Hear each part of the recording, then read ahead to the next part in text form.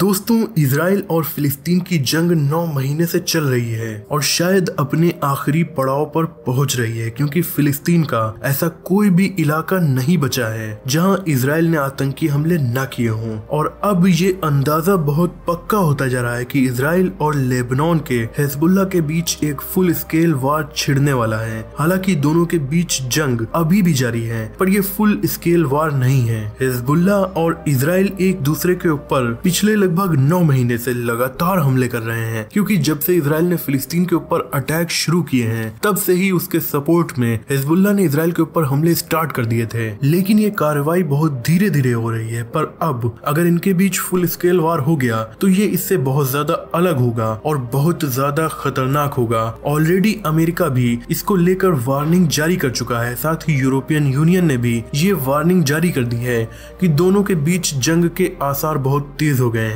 क्योंकि लेबनान के हिजबुल्ला ने एक वीडियो रिलीज़ की है, जिससे साबित होता है कि वो बहुत जल्द जंग स्टार्ट कर सकता है। उसने अपने एक सर्विलांस ड्रोन को पता नहीं कैसे इसराइल के अंदर भेज दिया, जिसका इजरायली डिफेंस सिस्टम कुछ नहीं बिगाड़ सके। उस ड्रोन ने इसराइल की की लोकेशंस के ऊपर चक्कर लगाया और उनकी वीडियोस को रिकॉर्ड करके वापस आ गया। ये इसराइल की वो लोकेशन है, जिन पर हमला करने का इरादा लेबनान का हेजबुल्ला रखता है, जिनमें सबसे इम्पोर्टेंट और क्रूशियल है इसराइली न्यूक्लियर साइट जिसका नाम है डायमोना न्यूक्लियर रिएक्टर दोस्तों, अगर न्यूक्लियर रिएक्टर के ऊपर दुश्मन हमला कर दे तो बहुत बड़ी तबाही की वजह बन सकता है, क्योंकि यहाँ पर हमले से हाईली रेडियो एक्टिव एलिमेंट्स हवा में फैलना स्टार्ट हो जाएँगे, जिसके बाद उसके आसपास के सैकड़ों किलोमीटर में ज़िंदा रह पाना लगभग नामुमकिन हो जाएगा। इसीलिए न्यूक्लियर रिएक्टर की सुरक्षा हर देश बहुत बड़े पैमाने पर करता है। न्यूक्लियर रिएक्टर एनर्जी और रिसर्च के लिए बहुत ज़्यादा इम्पोर्टेंट होता है। लेकिन इतिहास में दो बार बहुत बड़ी घटनाओं की वजह बना है। एक बार 2011 में जब जापान में सुनामी और भूकंप आ गया था तो वहाँ का फुकुशिमा न्यूक्लियर रिएक्टर घटना का शिकार हो गया था, जिससे बड़ी तबाही मची थी। और ऐसे ही 1977 में यूक्रेन के उत्तर में मौजूद शेरनोबिल न्यूक्लियर पावर प्लांट में हादसा हो गया था। हिजबुल्ला ने वार्निंग दी है कि वो भी इसराइल के न्यूक्लियर रिएक्टर पर हमला करेगा। अगर ऐसा हुआ तो एक बहुत बड़ी की वजह ये हमला बन सकता है। इसके अलावा उसने कहा है कि वो इसराइल की और भी इम्पोर्टेंट साइट्स जैसे कि उसकी मिलिट्री की फैक्ट्रीज जहाँ हथियार बनते हैं, Ramat David military airfield Nevatim air base जो कि ऑलरेडी कई बार इस जंग के दौरान टारगेट किया जा चुका है। इसराइल का एशदोद बंदरगाह और हैफा पोर्ट इसे भी कई बार टारगेट किया गया है। इसके अलावा इसराइली कोस्ट लाइंस में मौजूद ऑयल रिफाइनरीज को टारगेट करने की बात लेबनान की तरफ़ से कही गई है। अगर इनमें से किसी भी लोकेशन पर इनका हमला कामयाब रहा तो इसराइल की कमर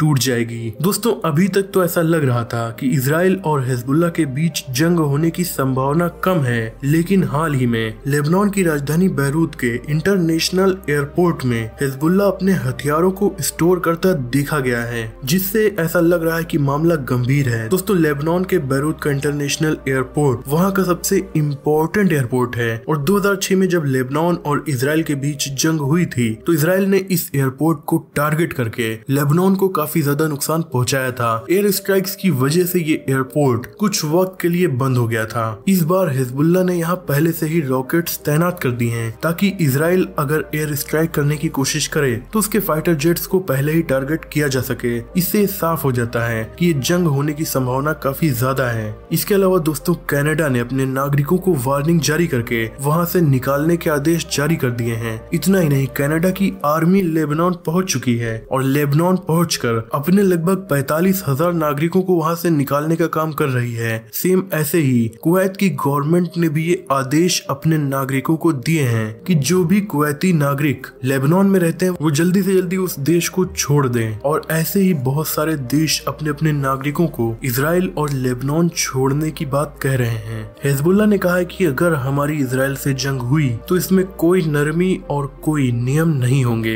यानी ये बहुत ज़्यादा भयानक होगी। साथ ही उसने ये भी कहा है कि वो इसराइल के अंदर अपनी सेना को भेजकर कार्रवाई करेगा। यानी ये एक तरीके का इन्वेजन होगा। इसी तरह इसराइल ने भी कहा है कि अगर फुल स्केल वार हुआ तो लेबनान से हिजबुल्ला पूरी तरीके से खत्म हो जाएगा। यानी इसराइल की सेना हिजबुल्ला को पूरी तरीके से खत्म कर देगी। लेकिन दोस्तों, ये दावा झूठा नज़र आता है, क्योंकि इसराइल और हमास के बीच पिछले नौ महीने से जंग चल रही है। जबकि आंकड़ों के मुताबिक वो केवल चार परसेंट ही गाजा के इन सैनिकों को खत्म कर पाया है। हालाँकि इस दौरान उसने गाजा में तबाही बहुत ज़्यादा मचाई है और हिजबुल्ला तो इनसे बहुत ज़्यादा ताकतवर है। हथियार भी उसके पास ज़्यादा है और फाइटर्स की संख्या भी उसके पास ज़्यादा है। तो इसराइल के लिए उन्हें खत्म कर पाना कोई आसान काम नहीं होगा। हिजबुल्ला की प्रिपरेशन के साथ साथ इसराइल की सेना भी जंग की तैयारी करती हुई देखी गई है और अमेरिका ने इसराइल को वार्निंग देते हुए कहा है कि ये जंग केवल तुम्हारी हिजबुल्ला के साथ नहीं होगी, बल्कि अगर तुमने इनके साथ जंग छेड़ी तो तुम सीधे तौर पर ईरान के साथ जंग करोगे, क्योंकि ईरान इस जंग में कूद जाएगा। लेबनान के हिजबुल्ला की मदद करेगा। ईरान ही नहीं, सीरिया, इराक और यमन भी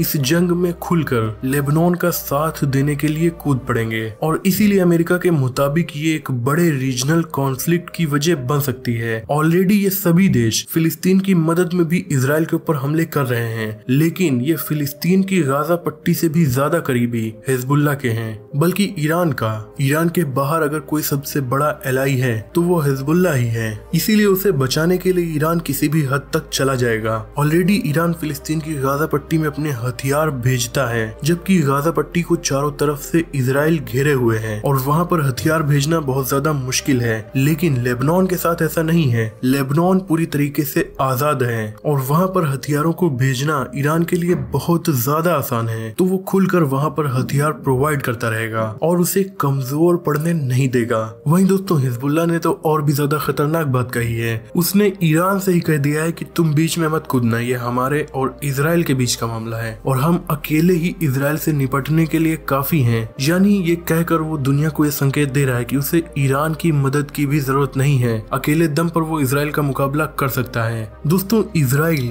आंकड़ों के हिसाब से बहुत ज़्यादा ताकतवर है, क्योंकि उसकी मदद के लिए अमेरिका सहित यूरोप के सभी ताकतवर देश हर वक्त हाजिर रहते हैं। वहीं दूसरी तरफ़ लेबनान का हिजबुल्ला है, जिसे दुनिया का सबसे ताकतवर नॉन स्टेट मिलिट्री ग्रुप कहा जाता है। उसके पास लगभग डेढ़ लाख फाइटर्स हैं और लगभग डेढ़ लाख ही रॉकेट्स और मिसाइल्स हैं। इनमें से कुछ मिसाइल्स और रॉकेट्स छोटी हैं तो कुछ काफ़ी ज़्यादा बड़ी हैं, जिनकी रेंज एक से दो हज़ार किलोमीटर तक है। इसके अलावा इनके पास बहुत सारे ड्रोन्स भी हैं। इनके पास जो हथियार हैं, उनमें से ज़्यादातर ईरान, नॉर्थ कोरिया और रशियन मेड हैं। 2006 में भी इनकी जंग इसराइल के साथ हुई थी। ये काफ़ी भयानक जंग थी, जिसमें इसराइल की हार हुई थी। तब ये बहुत ज़्यादा कमज़ोर थे। तब से लेकर आज तक ये बहुत ज़्यादा ताकतवर हो चुके हैं। इतना कि मिलिट्री एक्सपर्ट्स के मुताबिक ये जंग 2006 की लेबनान और इसराइल की जंग से 10 गुना ज़्यादा खतरनाक होगी। इसराइली मिलिट्री के एक रिटायर्ड कोलोनल ने एक इंटरव्यू को बताया कि लेबनान के हिजबुल्ला के पास इतनी ज़्यादा रॉकेट्स और मिसाइल हैं कि अगर वो बेहद कम, लगभग दस हज़ार ही इसराइल के ऊपर फायर कर दें और उनमें से 90 परसेंट को इसराइल सक्सेसफुली डिस्ट्रॉय भी कर दे